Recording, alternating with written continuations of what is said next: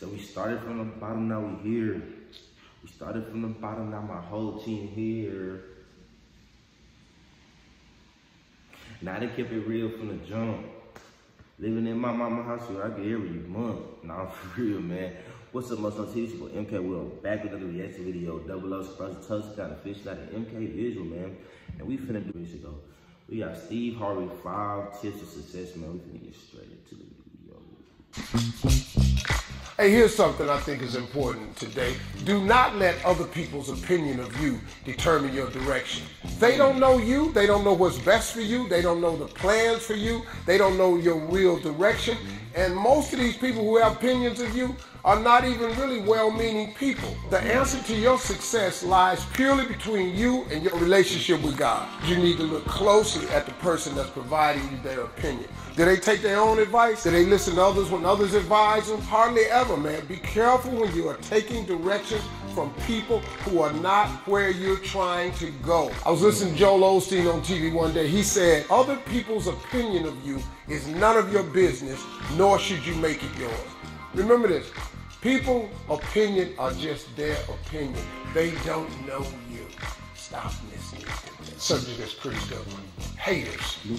Listen, don't break for the foolishness of haters. What I'm trying to say is don't stop for them. Do not stop for haters. Just keep going. Don't stop going forward for something that has no bearing on where you're headed.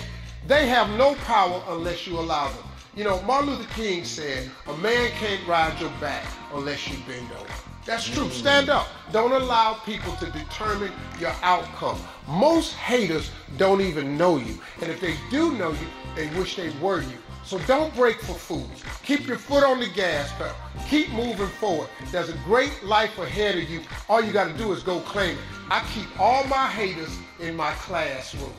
They watching me. All they can do is watch and learn. Hmm. Keep your haters in your classroom.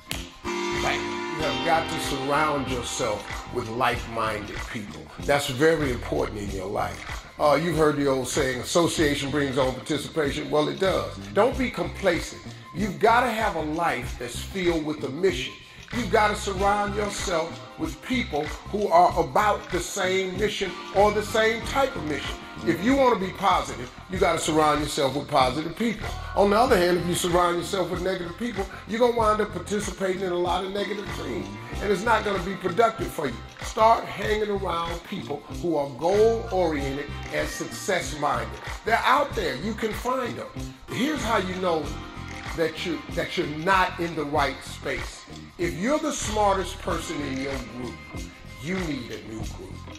This will make your journey to the top a whole lot smoother. One of the things that's critical to understanding your journey is the plan and the goal. The plan and the goal are two different things. The goal is the destination. The plan is how you are approaching it. People get stuck on their plan too much. Now the goal doesn't have to change. The goal is the same. But your route to that goal, you have to be flexible. The road to success is always under construction. You can be planning to go this way, but every now and then in life, there's going to be a detour. There's going to be a U-turn. There's going to be men at work. It doesn't change the goal, but the route to get there, it has to change. Reinvention has been one of my keys to success. It can be one of the keys to yours. Apply a lot of determination to reinvent yourself and take another route to success. I actually want you to start focusing on expecting great things to happen living your life with an expectation of great things to happen. What's going on right and correct in your life? Stop focusing on the negative. Everybody's got something going wrong. Everybody, including me. Somebody sent me a plaque one time that really stuck with me, that mattered to me. The plaque said, when you're going through hell, just keep going. I mean, it makes sense. Why would you stop there? Listen, don't allow your mistakes to bury you. Notice something else too. You've made it through everything that you thought you wouldn't make it through, didn't you? Everything. You've gotten through it all. I want you to expect good things to happen, even when something bad happens. Okay? No, for real, man. I needed that, bro. Hope y'all got that message too, man. Y'all like the video, like, comment, subscribe. Let me know in the comments I want more videos like this, man. Okay.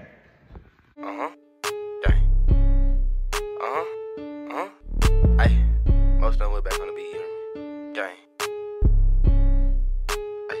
ECG go crazy.